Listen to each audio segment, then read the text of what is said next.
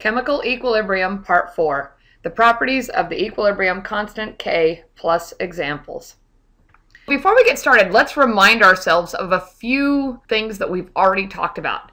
And so first we're just going to remind ourselves about this generalized reaction. We have reactants A and B, and lowercase a and lowercase b are their coefficients. And then a similar situation exists for products C and D.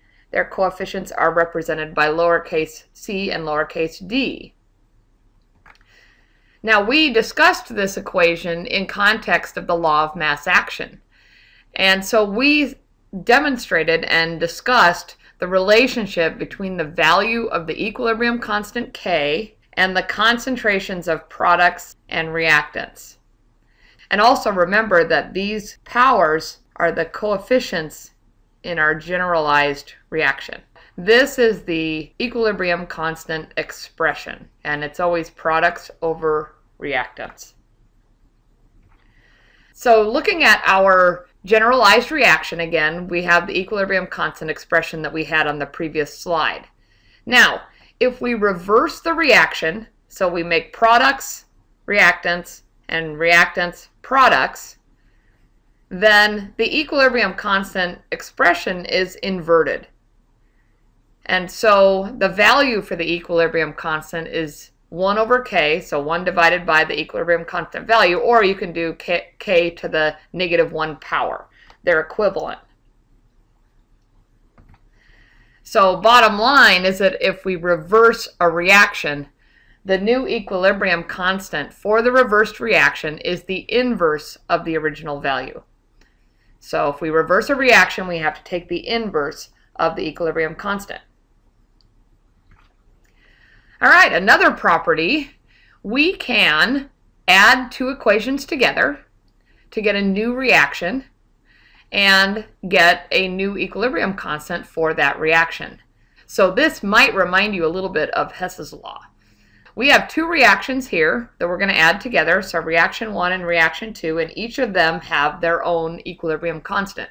And so, when we add them together, C is on both sides of the equation, so we're going to cancel that out. So we're going to end up with an overall reaction that's A plus B plus D, so everything on the reactant side, and that's going to be an equilibrium with product E. If we want to get the new value for the equilibrium constant, then we multiply the equilibrium constants for the two reactions that we added together. So our new equilibrium constant is going to be the product of K1 and K2, and that will be K3. Now another property is that if we multiply all of the coefficients by a factor in an equation, then the new equilibrium constant is going to be the original value raised to the power equal to that factor. Okay, so for instance, looking at our original reaction, A plus B is in equilibrium with C, and K had a certain value.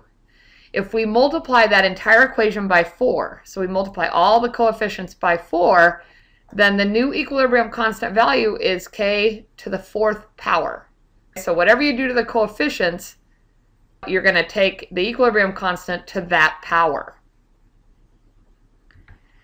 And that works the same way regardless of whether it is a whole number like we just saw or a fraction.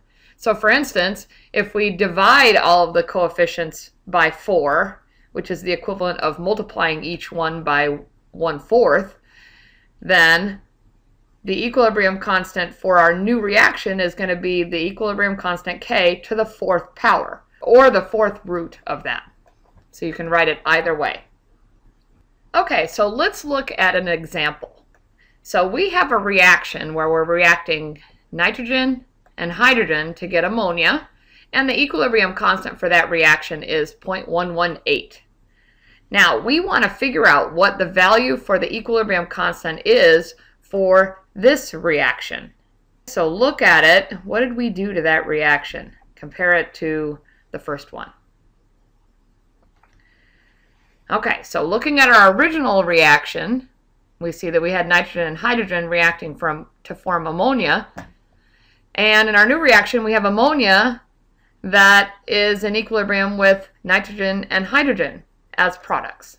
The equilibrium constant value for the reversed reaction is going to be 1 divided by 0.118, or we can take 0.118 to the negative 1 power, and we're going to get 8.47. So that's the equilibrium constant for the reversed reaction. So now let's look at adding two reactions together. So we have reaction 1 and reaction 2, and each of those have their own equilibrium constant. 5.1 for the first reaction, 0.15 for the second. So adding those two reactions together, we're going to have 2p plus s is in equilibrium with g. And to get the new equilibrium constant for that reaction, we're going to multiply K1 and K2, and K3 ends up as 0.767. So that is the new equilibrium constant for this reaction. So let's go back to this ammonia reaction. And what we are going to do is multiply each of those coefficients by a factor. So take a look at our new reaction. What did we do? Each of those coefficients in our reaction here was multiplied by one-third. You could also look at it as dividing by 3. Each of the coefficients were multiplied by one-third, and so our new equilibrium constant value is going to be our original equilibrium constant to the one-third power. Okay, and then we're going to end up with 0.490 for a new equilibrium constant value after we multiplied each coefficient by one-third. Next, we will talk about ice tables and equilibrium calculations, and that will be part five.